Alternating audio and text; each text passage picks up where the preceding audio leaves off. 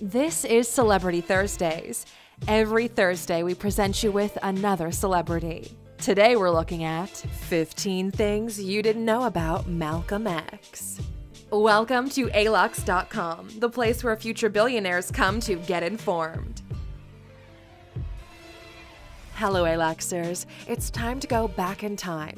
Today, we're talking about a very controversial yet important figure of America's recent history. His name is Malcolm Little, aka Malcolm X. He was an American Muslim and one of the most prolific human rights activists for the black community. Born into a semi dysfunctional family, his father was killed when he was a teenager, and his mother struggled her entire life. Living in New York in the 1950s and 60s, Malcolm had a tough upbringing, and everything that happened to him, personally and professionally, shaped his beliefs and actions. Although he lived a short life, his preaching and activism are still remembered today. Some might think he was an extremist, seeking violence, and others will see him as a courageous and outspoken man of that generation. As a black American Muslim and an activist, Malcolm was both loved and hated, haunted, respected, and remembered. If you're new here, welcome. Be sure to subscribe and follow us on Instagram at Alux. So let's have a look at 15 things about his life that not everyone talks about. Number 1 one of his handwritten letters is up for sale for $1.25 million. The lost chapters of Malcolm's autobiography were found and sold for only $7,000, but recently, a handwritten letter which he wrote not long before he died is now up for sale. The price for this precious and personal item? $1.25 million. The letter had Arabic illustrations and writing, and it spreads over six pages. He depicts one of his most important journeys of his life, the beautiful landmarks, and expresses his wishes for peace and acceptance. Although his views changed, he died shortly after. Number 2. He discovered Islam in prison. The circumstances that led Malcolm to prison time were a little out of his hand. He was sentenced to 10 years in jail, which is where he met with a fellow convict that got Malcolm to read more and be more informed. It was also perfect timing because the Nation of Islam was getting more attention as a new religious movement backed by African Americans. Nagged by his family, he adopted the new religion and later became a member and a minister of the Nation of Islam. Number 3. He went on a pilgrimage to Mecca. Any follower of Islam knows a pilgrimage to Mecca is mandatory at least once in a lifetime for those who are able to do it. Mecca is the holiest city for Muslims, located in the Arab Peninsula. As a newly turned Muslim, Malcolm was also due for a trip to the Holy City, and he did everything he could to achieve it. His sister helped him fund the trip to Mecca, but it was not a smooth experience. He has US citizenship and couldn't speak Arab, which got him into a little trouble. Thanks to his reputation and activism, he was granted access and was able to attend an event that changed the way he viewed his Muslim equals. Number 4 his speeches were recorded and later published. Back then, media was not so modern or easy to access, so Malcolm's ideas and speeches were not able to get to everyone. He never made any notes, written books, or essays, so the only record of his activism that we still have today is from his autobiography and the few recordings of his speeches. Some of them can be found in the autobiography written by Alex Haley and other mentions, interviews, or press. He died at the age of 39, and the world barely had a chance to know or understand who he really was.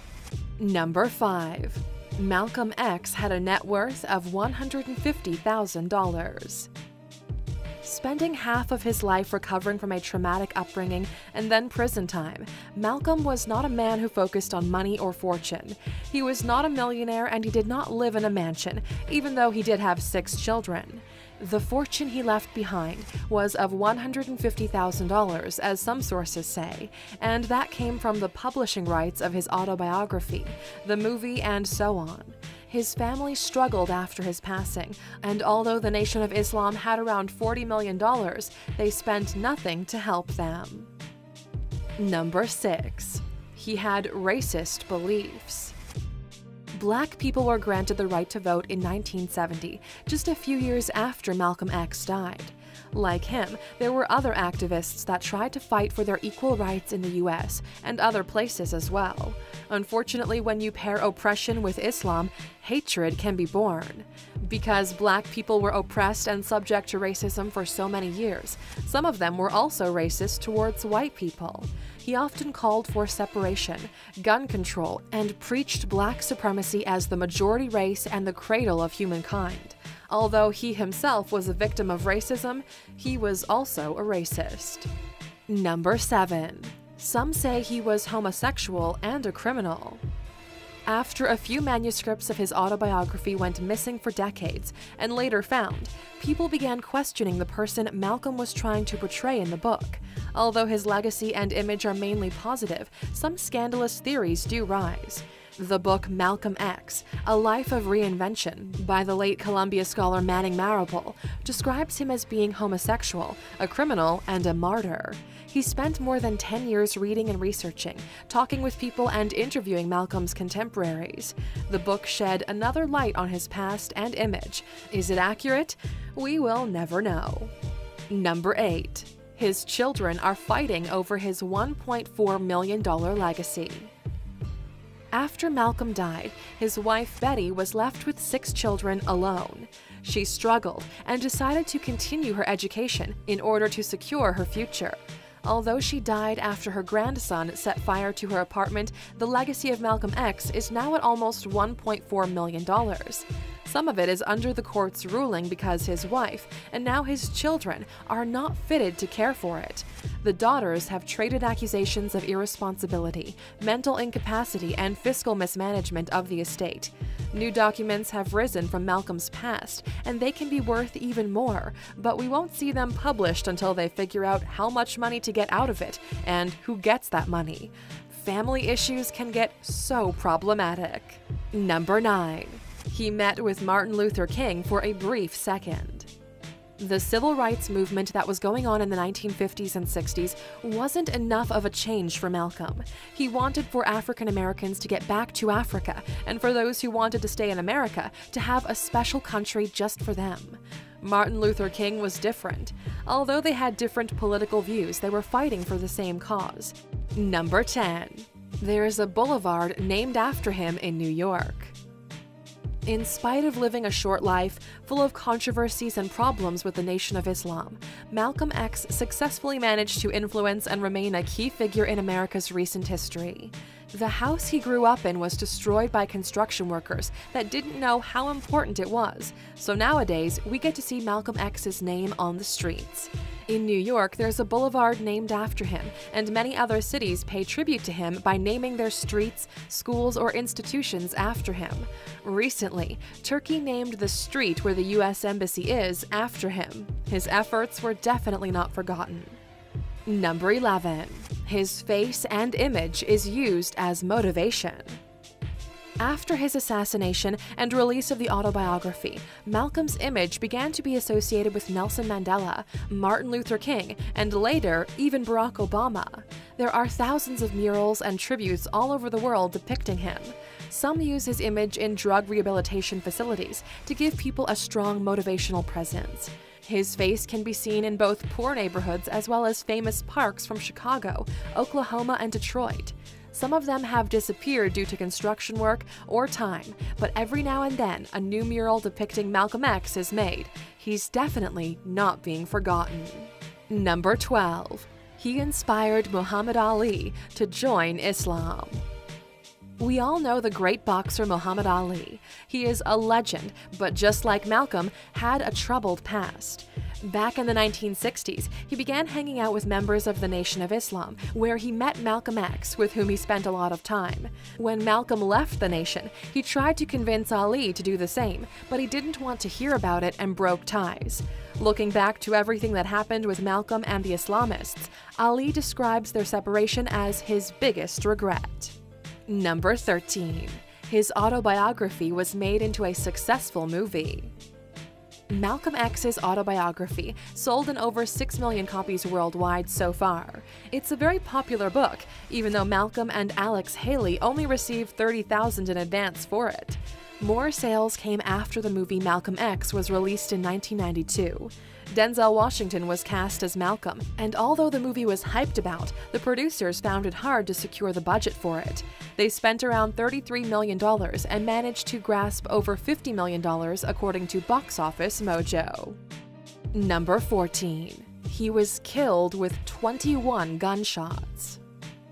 After Malcolm came back from his pilgrimage to Mecca and his African and European trips, the Nation of Islam started hunting him and actively tried to assassinate him and his family several times.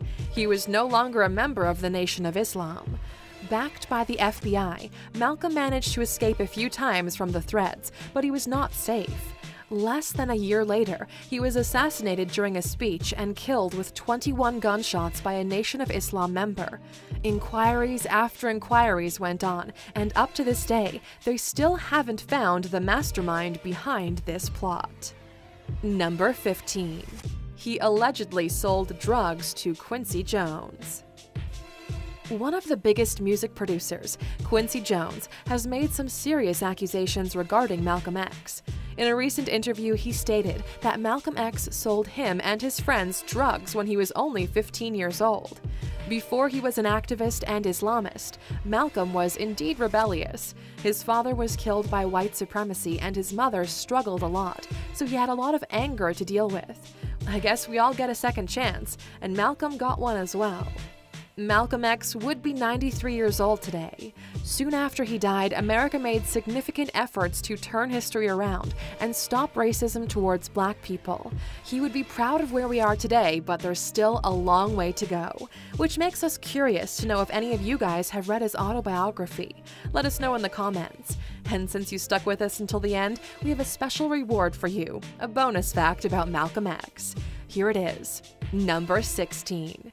A theory says that Malcolm X is the father of Barack Obama. Conspiracy theories are a juicy subject. They try to connect and shed light over famous events and people, but somehow end up being trashed because they're too much nonsense. One of them is about Malcolm X being the real father of former President Barack Obama. So, why this theory? Because if you take a few pictures and look closely, they kinda look similar. Is that enough evidence? No, not at all, but some people really do try to promote it.